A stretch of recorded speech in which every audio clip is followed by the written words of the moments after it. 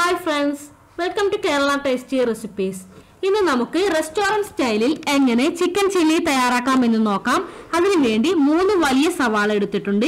അത് ചതുരത്തിലുള്ള പീസായി കട്ട് ചെയ്ത് വെച്ചതാണ്. ഒരു വലിയ കാപ്സിക്കോ എടുത്തിട്ടുണ്ട്. അതിന്റെ സീഡൊക്കെ കളഞ്ഞ് ഇങ്ങനെ ചതുരത്തിലുള്ള പീസായി കട്ട് ചെയ്ത് വെക്കാം. പിന്നെ വേണ്ടത് ഒന്നര ടേബിൾ സ്പൂണോളം ഇഞ്ചി വെളുത്തുള്ളി പേസ്റ്റ്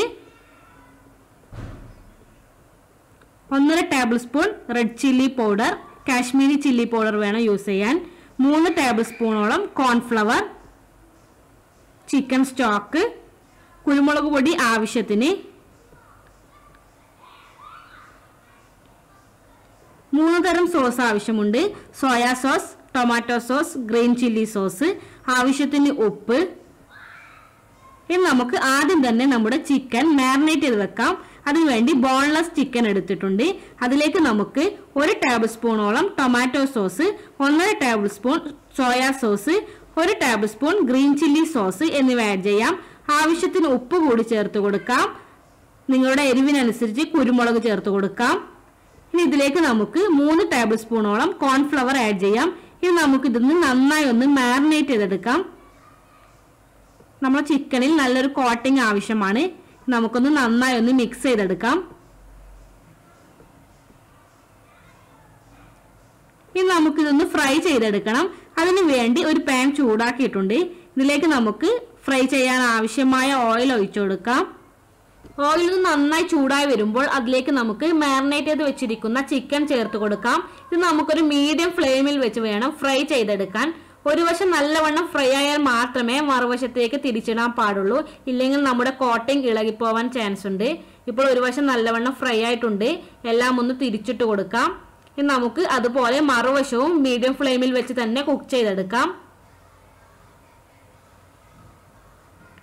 ഇപ്പോൾ നമ്മുടെ ചിക്കൻ നല്ലവണ്ണം ഫ്രൈ ആയി വന്നിട്ടുണ്ട്. ഇനി നമുക്കിത് പാനിൽ നിന്ന് മാറ്റാം. ഇനി നമുക്ക് മറ്റൊരു പാൻ ചൂടാക്കിയെടുക്കാം. അതിലേക്ക് നമുക്ക് ഒരല്പം ഓയിൽ ഒഴിച്ചു കൊടുക്കാം. ഓയിൽ ഒന്ന് ചൂടായി വരുമ്പോൾ ഇതിലേക്ക് നമുക്ക് ക്രഷ് ചെയ്ത് വെച്ചിരിക്കുന്ന വെളുത്തുള്ളി ഇഞ്ചി എന്നിവ ചേർത്ത് കൊടുക്കാം. ലോ ഫ്ലെയിമിൽ വെച്ച് നമുക്ക് ഇതൊന്ന് നന്നായി ഒന്ന് റോസ്റ്റ് ചെയ്തെടുക്കാം.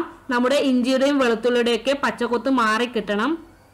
ഇപ്പോൾ നല്ലവണ്ണം റോസ്റ്റായി വന്നിട്ടുണ്ട്. ഇതിലേക്ക് നമുക്ക് ചതുര പീസായി കട്ട് ചെയ്ത് വെച്ചിരിക്കുന്ന സവാള ചേർത്ത് കൊടുക്കാം. നമുക്കത് നന്നായി ഒന്ന് ഇളക്കാം. നമ്മുടെ സവാള അല്പം ഒന്ന് സോഫ്റ്റ് ആയാൽ നമുക്ക് ബാക്കിയുള്ള ഇൻഗ്രീഡിയൻസ് ആഡ് ചെയ്യാം. ഇതിലേക്ക് നമുക്ക് ഒന്നര ടേബിൾ സ്പൂണോളം കുരുമുളക് ആഡ് ചെയ്യാം. ഒന്നര tablespoon red chilli powder കൂടി ആഡ് ചെയ്യാം. നന്നായി ഒന്ന് ഇത് മിക്സ് ചെയ്തെടുക്കാം. ഇതിലേക്ക് നമുക്ക് ക്യാപ്സിക്കോ കൂടി ചേർത്ത് കൊടുക്കാം. ക്യാപ്സിക്കോ നല്ലവണ്ണം വേവേണ്ട ആവശ്യമില്ല. അല്പം ഒന്ന് സോഫ്റ്റ് ആയാൽ മതിയാകുന്നതാണ്. ഇനി നമുക്ക് ഇതിലേക്ക് സോസുകൾ ആഡ് ചെയ്യാം.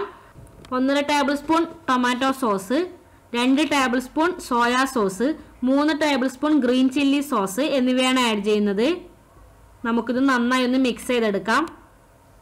ഇതിലേക്ക് ഇനി നമുക്ക് ചിക്കൻ സ്റ്റോക്ക് ഒഴിച്ചു കൊടുക്കാം. വീണ്ടും ഇതൊന്ന് നന്നായി ഒന്ന് ഇളക്കി കൊടുക്കാം.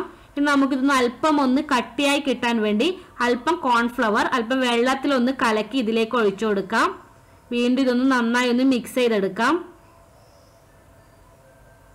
ഇനി നമുക്ക് ഇതിലേക്ക് ഫ്രൈ ചെയ്ത് വെച്ചിരിക്കുന്ന ചിക്കൻ ചേർത്ത് കൊടുക്കണം. അതിനു മുമ്പ് ഉപ്പ് ആവശ്യമെങ്കിൽ ചേർത്ത് കൊടുക്കാം. സോസിലൊക്കെ ഉപ്പുണ്ട്. അതുകൊണ്ട് ഉപ്പ് നോക്കിയിട്ട് വേണം ചേർക്കാൻ. ഇതിലേക്ക് നമുക്കിനി ഫ്രൈ ചെയ്ത് വെച്ചിരിക്കുന്ന ചിക്കൻ ചേർത്ത് നന്നായി ഒന്ന് മിക്സ് ചെയ്തെടുക്കാം. ലോ ഫ്ലെയിമിൽ വെച്ച് ഏകദേശം ഒരു അഞ്ച് മിനിറ്റോളം നമുക്കിത് മിക്സ് ചെയ്തെടുക്കാം. ഇപ്പോൾ നമ്മുടെ ചിക്കൻ ചില്ലി ഏകദേശം റെഡിയായി വന്നിട്ടുണ്ട്. ഇനി നമുക്കിത് ഫ്ലെയിം ഓഫ് ചെയ്യാം. ഇത് ചൂടോടെ നമുക്ക് പൊറോട്ടയുടെ കൂടെയോ ചപ്പാത്തിയുടെ കൂടെയൊക്കെ സെർവ് ചെയ്യാം. Thank you.